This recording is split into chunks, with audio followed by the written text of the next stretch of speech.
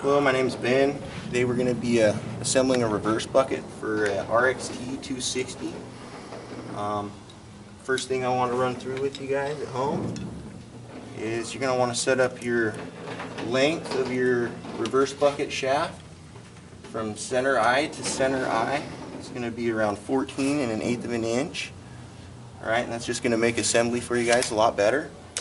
Um, then you're going to take the bracket that we supply with you guys. We're going to give you two extra bolts that are a little longer. And we're going to give you a uh, quarter 20 bolt here, which is a one inch quarter 20.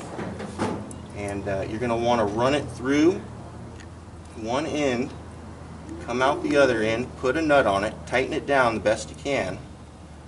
When you assemble it, you want to make sure that your two lines, or your two holes right here, are going horizontal and this bolt right here is shooting forward towards the front of the ski. You don't want to have it reversed and go the wrong way or you're going to run into binding issues with the bucket. So once you get this assembled, you got the two holes down here off the rever- reverse bucket mount. You're going to want to uh, put your two bolts in the bracket plate.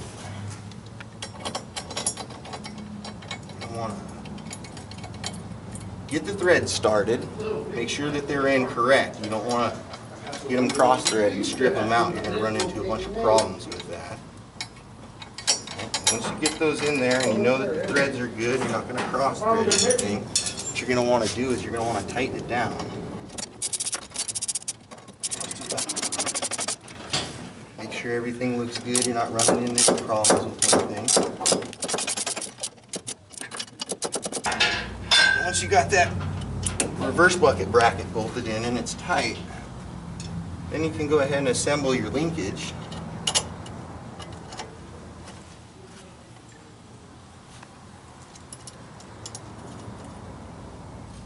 Once your linkage is assembled, go ahead and tighten her down. Once you get your steering linkage hooked up to the bracket, everything is tight, that's pretty much it right there. Um, what you're going to want to do is assemble your, your thrust adapter again. The reason I take the thrust adapter out is it just gives you a little more room to get in there. A lot of times you'll be running into parts. What I like to do is I like to snug up the two bottom bolts. You don't want to tighten them down a lot, but you just want to kind of snug them up. So make sure you get them all threaded. You're not going to cross thread anything, strip anything out.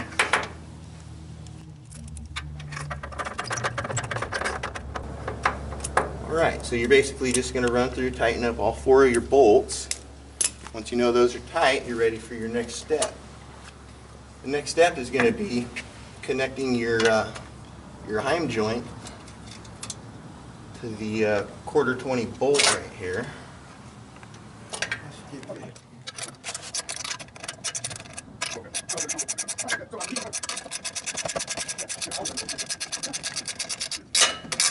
And one thing about the uh, the Sea-Doo RXT 260 is the amount of travel forward and back that the uh, the reverse bucket motor has uh, pretty much makes the little bump stop bushing on the top of the bucket um, unnecessary.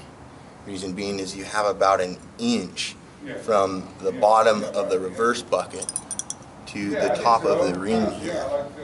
Um, when you start it up for the first time, you might want to leave this nut out of your reverse bucket.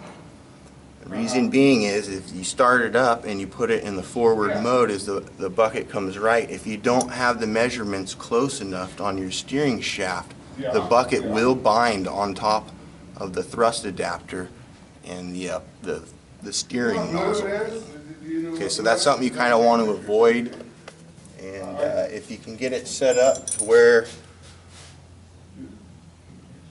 from eye to eye, you are around 14 and an eighth of an inch on the reverse bucket shaft, that should keep you out of trouble.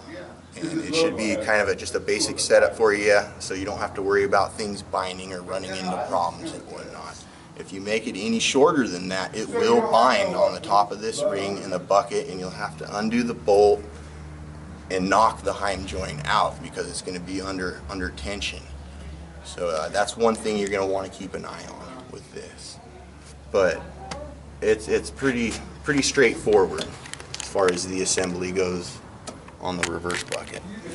Once you get it all assembled and uh, you think everything's good to go, you're going to want to start it up and uh, check your adjustments on forward and reverse. So we're going to start it up and show you what we're going to run into.